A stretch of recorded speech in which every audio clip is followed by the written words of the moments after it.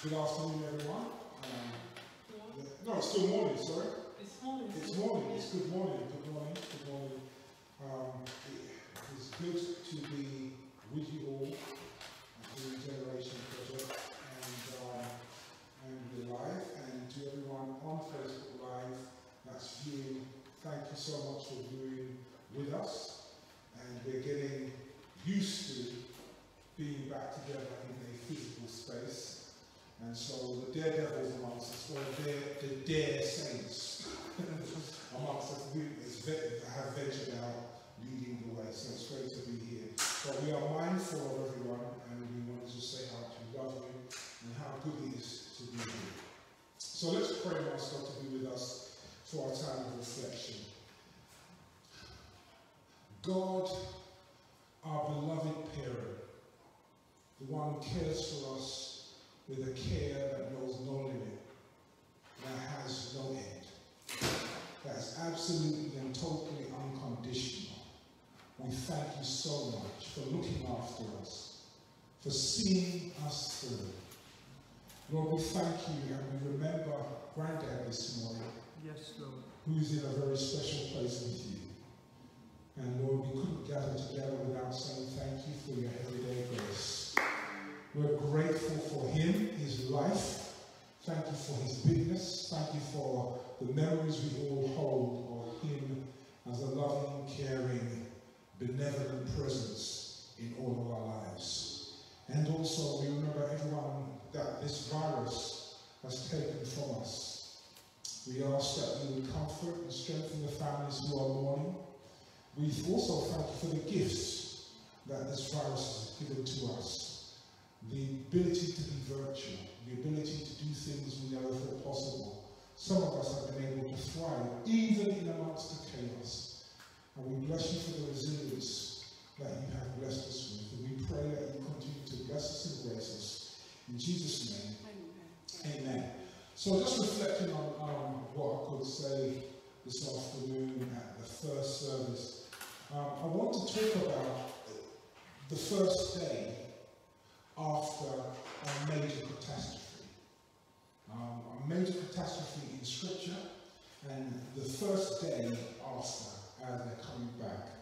So I want to take you back to the book of Genesis, um, the writing called Genesis chapter 8. I want to talk about the aftermath, the aftermath this morning. So Genesis chapter 8, verse 20 to Genesis chapter 9, verses 1 through 7. The text says, then Noah built altar to the Lord and took every clean animal, and, sorry, of every clean animal and, and of every clean bird, and offered burnt offerings on the altar. and when the Lord smelled, this is an interesting anthropomorphism, God smelled the pleasing odour. The Lord said in his heart, I will never again curse the ground because of humankind for the inclination of the human heart is evil from youth, nor will I ever again destroy every living creature as I have done. As long as the earth endures, there's going to be seed time and harvest, cold and heat, summer and winter, day and night shall not cease. And then the text says,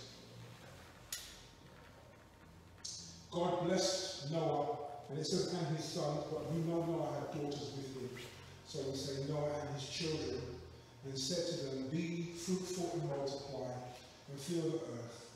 And the fear and dread of you shall rest on every animal of the earth, and of every bird of the air, and everything that creeps on the ground, and on the fish of the sea. Into your hand they are delivered, into your stewardship and care they are delivered. Every moving thing that lives shall be you, and just as I have given you the green plants, I give you everything. Only you shall not eat the flesh with its life, that is its blood. For your own life's blood I will surely require a reckoning. For every animal I will require it, and from every and from human beings. Everyone for the blood of another I will require a reckoning for human life. Whoever sheds the blood of a human by a human shall that person's blood be shed. For in God's own image and God's own likeness God made humankind, and you be fruitful, multiply, abound on the earth and multiply in it. And everyone said, Amen. Amen. So let's talk about the aftermath. The aftermath. The text that we've read is really the aftermath of what was understood by the editors and writers of this passage as a global catastrophe.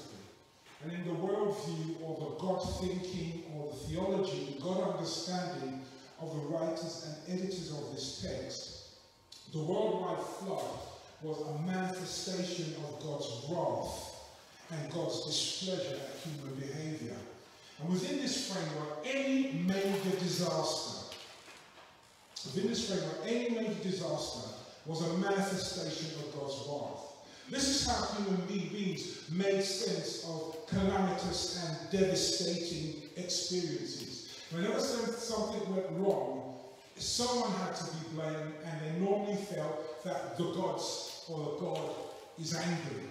And that's the way they theologized or thought through their everyday experiences. This is actually a common motif in popular thought. I don't know, if those of you who are on Netflix, there's a series called Snowpiercer, which is based on a film um, and uh, based on a book. And Snowpiercer is this apocalyptic vision of the future in which human beings have messed up and they've released a noxious gas that's frozen the entire surface of the earth. And then, of course, we have the Terminator franchise um, you know, and with Judgment Day, Terminator 2, where, where, where with Skynet and we've messed up with empowered machines and the machines are coming to get us. And, and, and then, of course, 2012, because we had the, the Aztecs um, having a fantasy about the world ending in 2012. And as we approach 2012, um, disaster was supposed to happen, and we had all these movies coming out, and thank God we survived. but it's a popular motif. And so as Noah and his family and their world, including all the living creatures saved by the ark, emerge from the ark, there's a real sense that life must go on. But life can't go on as it has been. We have to change in response to what we've experienced.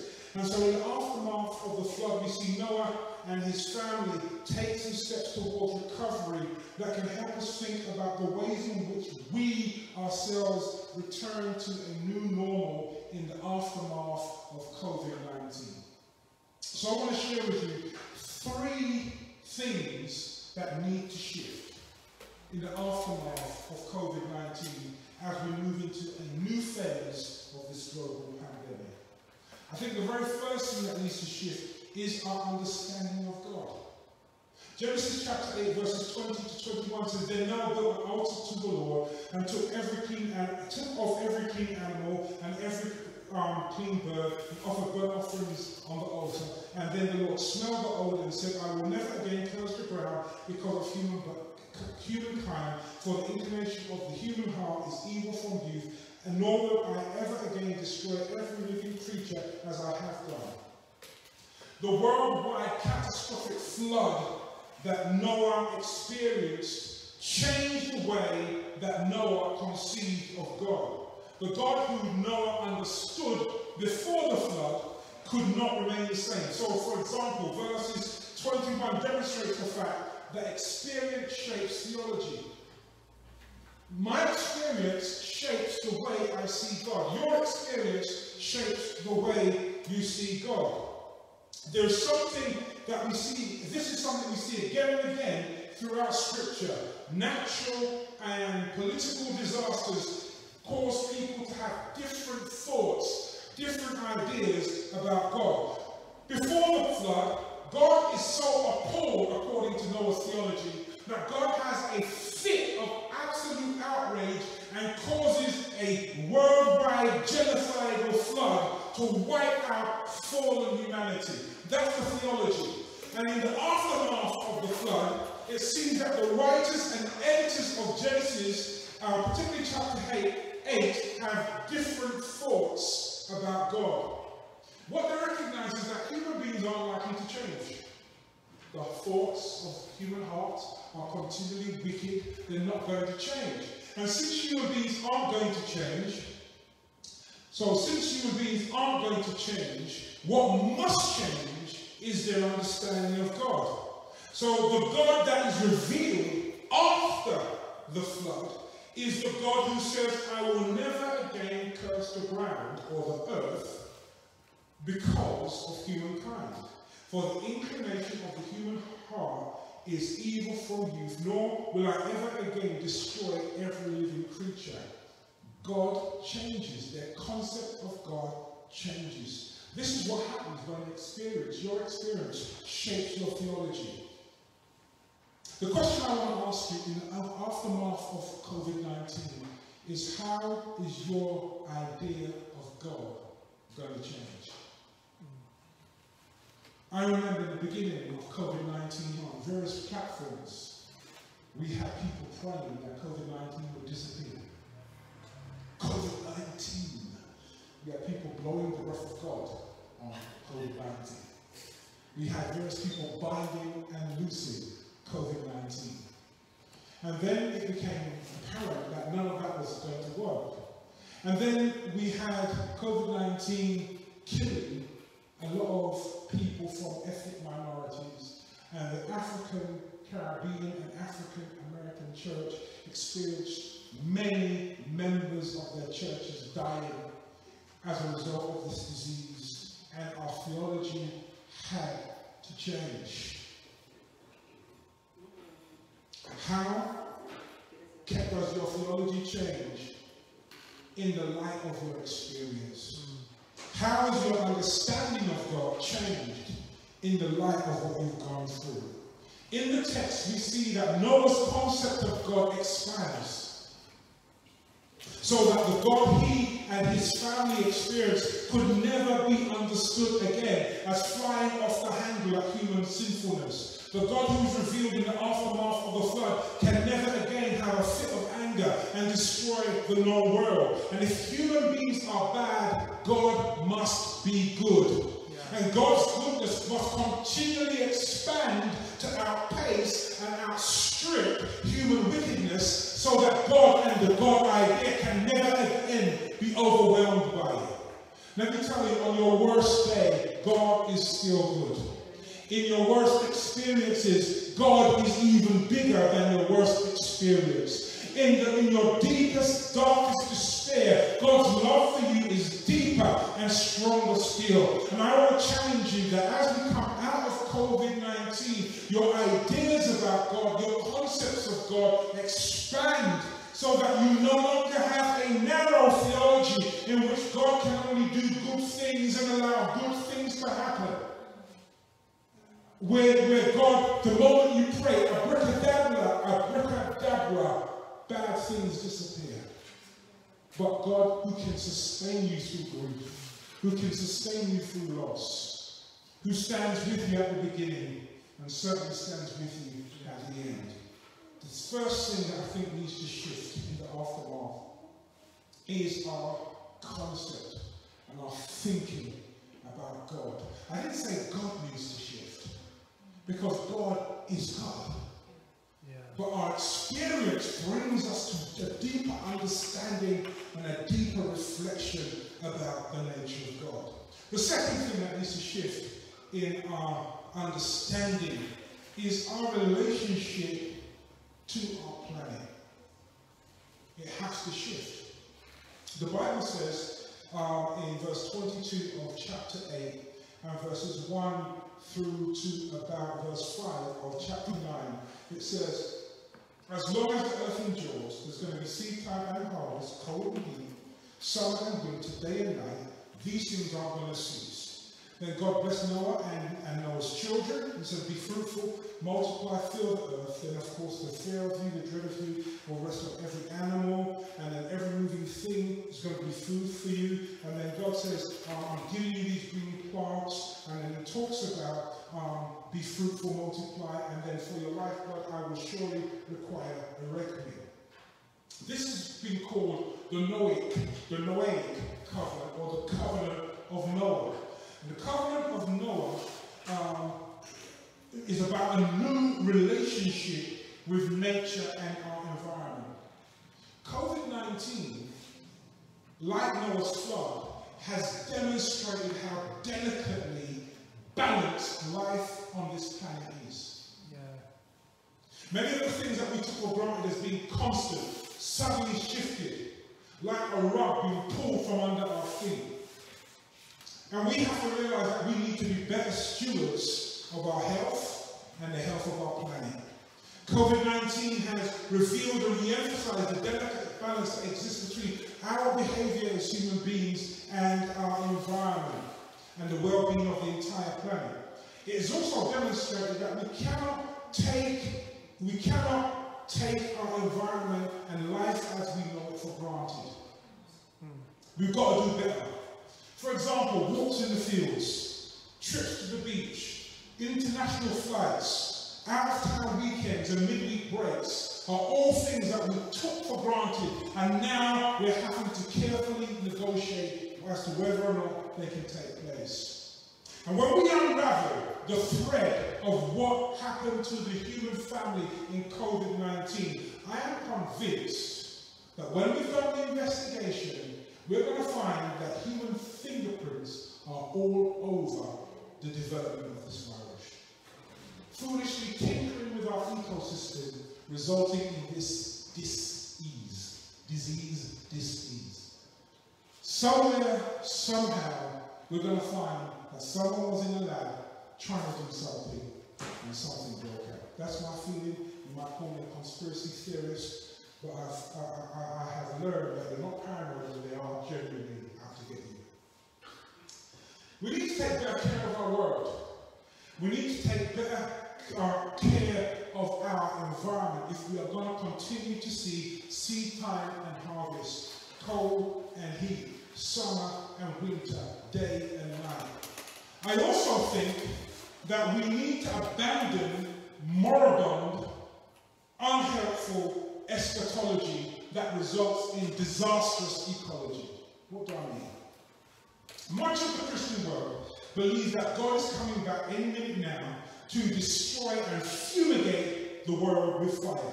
No more water, but fire next time.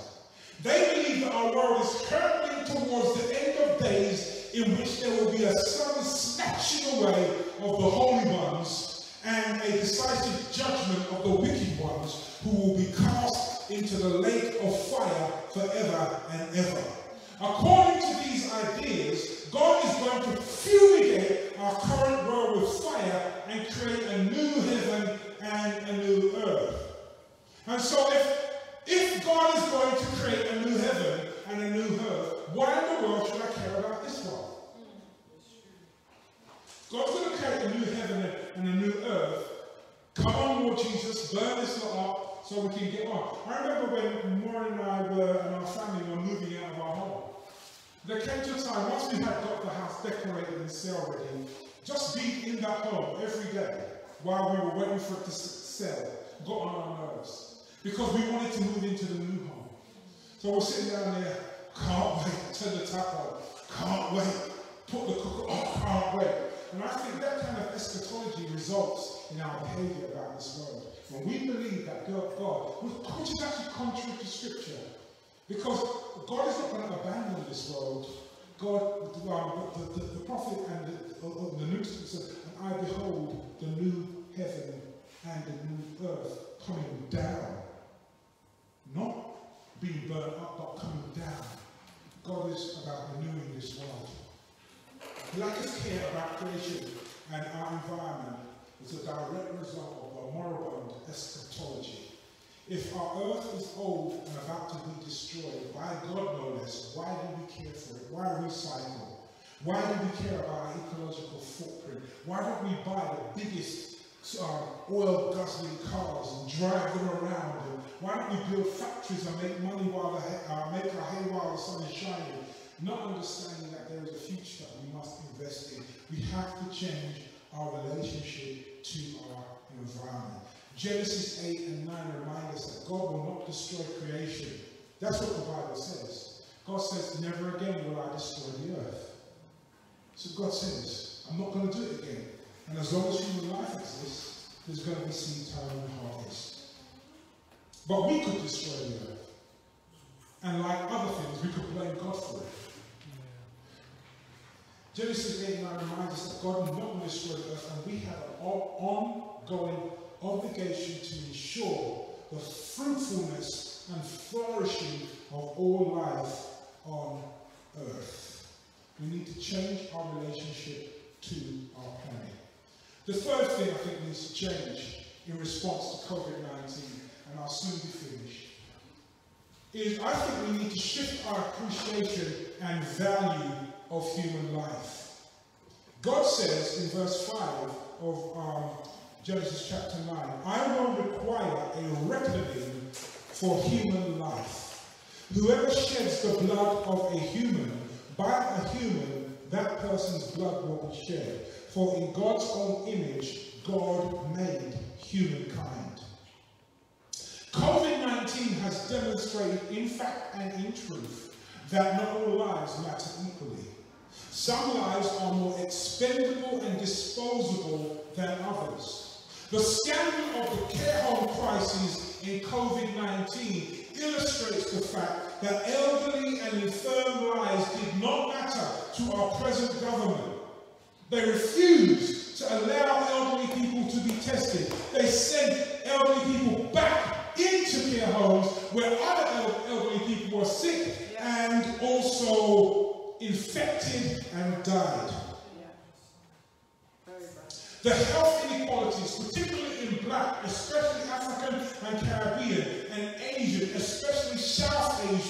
and minority ethnic communities were laid bare for all to see in COVID-19.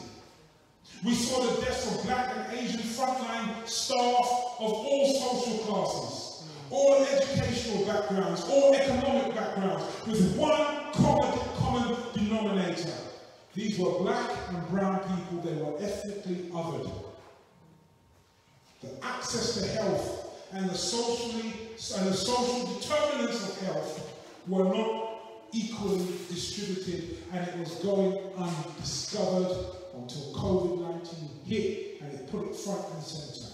The disparities also in policing practices and the overrepresentation of so-called black people, and I say so-called black people because black is a social construct provided by the powerful to categorize sections of the marginalized peoples of the world. The fatal instances um, of overrepresentation of so-called black people in fatal instances of police brutality led to the cacophonous reverberations insisting that black lives matter. We saw that in the midst of COVID-19 there's a comedian, I think he's got a Netflix special, special called Michael Che. Michael Che artfully bemoans the fact that we've struggled to get the mainstream of society to acknowledge that black lives matter. Matter. Matter. Not, not more, not matter more, not even matter most, just matter. That's been problematic for some sections of our community. And it takes a video recorded murder of a man that lasts for 8 minutes and 46 seconds to get the mainstream media to finally break down and concede that black lives matter. Can I just be honest with you? Matter is not in fact a high bar. Hmm. If you ask me how I felt about Maureen and how I felt about my children, and I said,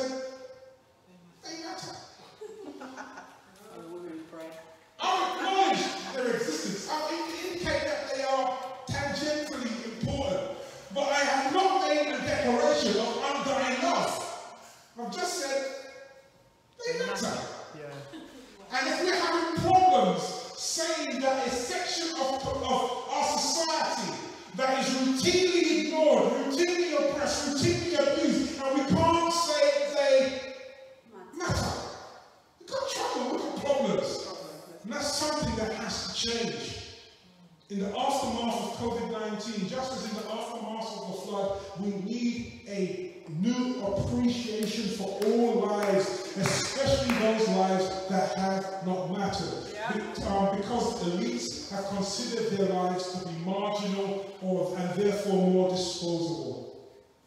Black lives have to matter because, because these are the lives that are socially, economically, and politically vulnerable. And if vulnerable lives don't matter, then no one life, no one's life matters. When we had the Titanic in the ships, and even in the airplanes, there used to be a thought that women and children go first.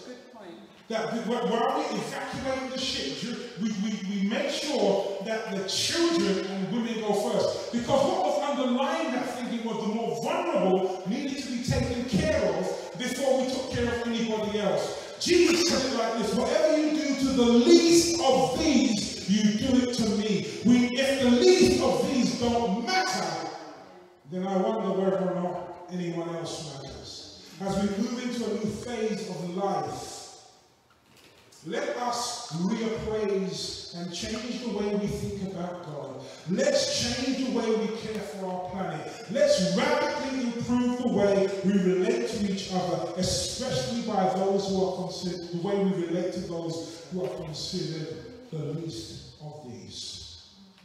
In the aftermath of COVID 19, let's see us come out with a new commitment to life in its manifold and varied forms. God bless you.